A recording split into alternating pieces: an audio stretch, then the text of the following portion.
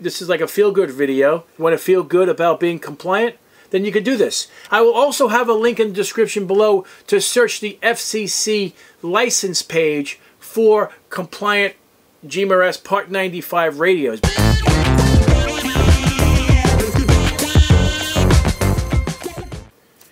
Hey guys, this is Joe Tech from Amateur Radio and GMRS, and today we're going to be doing a review of two radios. The Wouxun KG UV9G GMRS radio and the BTECH GMRS V1. Now, both of these radios are Part 95 compliant, both of them. One has a really beautiful display, which is the 9G. 150 bucks. Uh, can do, um, it comes with all 999 frequencies programmed of wacky stuff that you may not want. Or, and this is 150 bucks.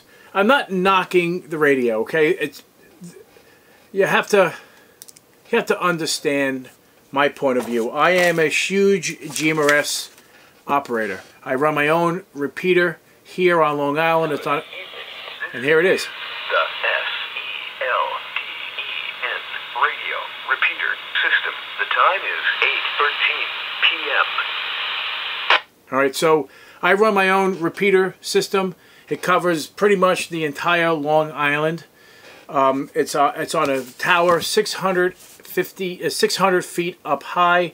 Covers pretty much all way of Suffolk County and pretty much all of Nassau County, a part of Connecticut. I have about 35 members right now of my repeater network. And then it goes all of pretty much, if you have a boat, and goes like another 150 miles offshore. So it's pretty impressive, um, the range of my repeater. I'm huge into it because I have my own network. I have everything. So, but I'm, I'm really picky about the radio that I use. So when I purchased these, I bought two of the 9Gs, but I didn't buy it for SHTF um, scenario. I bought it strictly for GMRU, GMRS use only. So all the frequencies that are in this are useless to me. There's absolutely no need for me to have any of that on it. So I didn't buy it for that purpose. So those frequencies are pointless for me. That's just my opinion, and I'm allowed to have that opinion. The BTECH radio, which is also a GMRS radio, has a memory channel of 128. That's the maximum it could do. This can do 999. However, you really don't need 999 because there aren't 999 GMRS channels. However, if you're using it for shit hit the fan scenario, then you might want this particular radio. Might. You're limited to transmission, and the receive is only as good as where you're located. So if you don't have good reception, it doesn't matter of receiving, it's a scanner at that point. It's a very expensive scanner. That's all. This, on the other hand, transmits on GMRS and does not do anything else but transmit on GMRS and receive weather frequencies. That's it. You can listen to other frequencies on this, but again, if you're buying it for GMRS, you're really using it for transmission, not for receive. That's my dilemma on this whole radio. It's a great radio. I just don't like the the um, the classification of it. It should be just be called a, a you know a Part 95 GMRS radio. No other radio out there classifies it as a shit hit the fan radio. And besides, you won't be using you have other frequencies. There's a whole. Are you familiar with the three, three, and three? A true prepper. We uh, like I've been reading up on it. A true prepper would have a three, three, three plan, radio plan, and that's what this is. You can get this. Uh, this is the um, prepper and survivalist SHTF frequency list. Not that many there. This is it here. This is all you need. All the other frequencies on here are literally useless. There's no reason for you to have FBI. Plus you have medical. Why would you want to listen to someone who's, you know, getting picked up on an ambulance. I don't know. That, that's a that's, that's more of a buff radio than should hit the fan scenario. So this list here, my friends, I'll have a link in description below to get this particular 333 survivalist scanner list. So the 9D would be the better bet if you, like, I would go out and get your ham license. I would also go out and get your GMRS license. Hands down. And then this plan would be perfect for you. Now, there's a whole bunch of them here. Um, let's see, one, and it also even has marine frequencies on here as well, if you have a boat. So you have uh, safety calling, boat prepper, if if you're going, if you're prepping on a boat and such. So there are also CB frequencies in here and single sideband side for CB. So this is the true survivalist and prepper frequency chart. This is what you need. And you can get it at buytwowayradios.com. This is where I received it from. So if you're a true prepper, you're familiar with this frequency list, not the 999 channels that are on here, which I find being literally out of this wall ridiculous. There's really no need to have all that. This is too much fluff. Since 2017, they've made changes to the frequency frequency list for uh, regarding regarding GMRS and FRS. Right, so let me, the video that I just posted this morning has a kid talking on the frequency. And it's 462 5625. Now that's technically an FRS frequency. Okay, however, the maximum FRS frequency power you're allowed to transmit is 2 watts. Alright, so this particular radio, the 9G, has this programmed in to, to transmit on it. However, this radio has the capability of transmitting 5 watts on that same frequency. But if you don't have a GMRS license and you're using it for FRS communication, this is illegal to use. You must have a GMRS license to transmit 5 watts on 462 5625. That's the only way you can do that if you do not have a GMRS license and you transmit 5 watts on 462 5625, you're transmitting illegal power on that particular frequency. And this radio has that capability.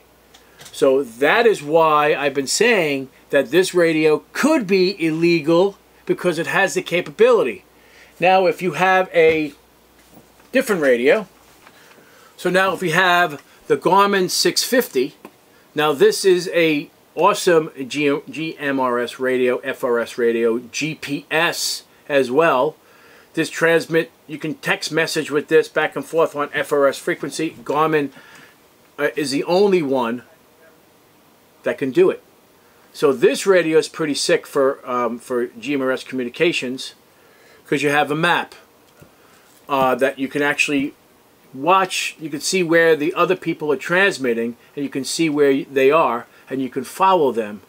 And this is more of a prepper radio because you have other family members on this frequency that are close by or in the woods, whatever. They transmit, they transmit their location, and then you'll know where they are. So this is more of a prepper radio than anything out there. This is strictly FRS and GMRS, and you have three power um, selectors, half watt, two watts, and five watts and it will not let you transmit 5 watts on FRS frequencies at all. It doesn't allow it. That's the whole point of this. So it's 100% legal. And if you notice, the antenna is not removable. It's a rubber tip. Great radio, by the way. We have a couple of these. It's an older radio. This is a Garmin 650. You have an 8 meg memory card in it. So anyway, this is old, but it still works really well. So through 8 through 14, you're only allowed to transmit a half a watt. That's uh, 467, 5625, 5875, 6125, 6375, 6625, 6875, and 7125. Those are 12 and a half kilohertz bandwidth spacing between each group of frequencies. If that makes any sense to you. All right. Then you have channels 15 to 22. Now, these frequencies are specifically for repeater use. Now, I consider these are the only frequencies that I use for GMRS. So I call channel 15 channel 1 for me.